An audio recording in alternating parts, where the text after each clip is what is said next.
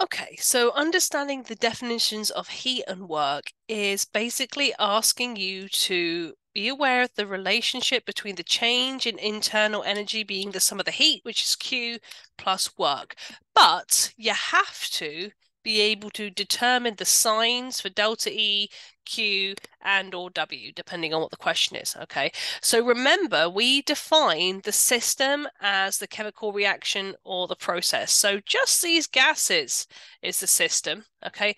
Everything else is the surroundings. That means the piston is the surroundings, the cylinder is the surroundings, the water bath is the surroundings. All of that is the surroundings, okay?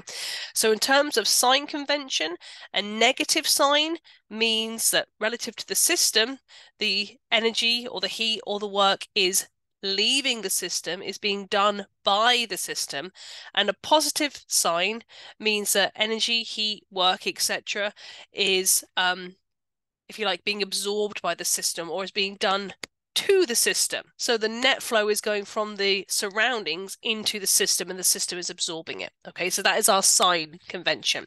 So first of all, we got to decide what is being given to us in the question. So this reaction is absorbing 211 kilojoules of energy. So that means our delta E, which I'm just going to write del E, is positive defined relative to the system because the system is absorbing energy and the amount is 211 kilojoules. The temperature of the water bath is monitored. The water bath is part of the surroundings and it tells us that heat flows into the system. So it's flowing out of the water bath and into the system.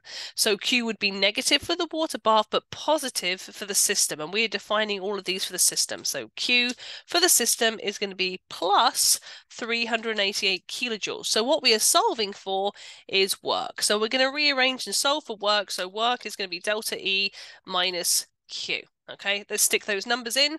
Um, so 211 minus 388 is going to give me a value for work of minus 177. Okay, that is interesting. Okay, so the minus I get for the work is telling me that the gases are doing work. So the gases are doing work on the system, which means that they're going to be expanding and moving up the piston inside the cylinder, whatever that is what that negative sign means. Okay, so now we are going to have to fill in what is going on here. So these first two questions, is the reaction exothermic or endothermic, is talking about the flow of heat. Okay, so we know that the heat is flowing into the system. That is what we define as an endothermic reaction because the system is absorbing heat from the surroundings, which the water bath is part of.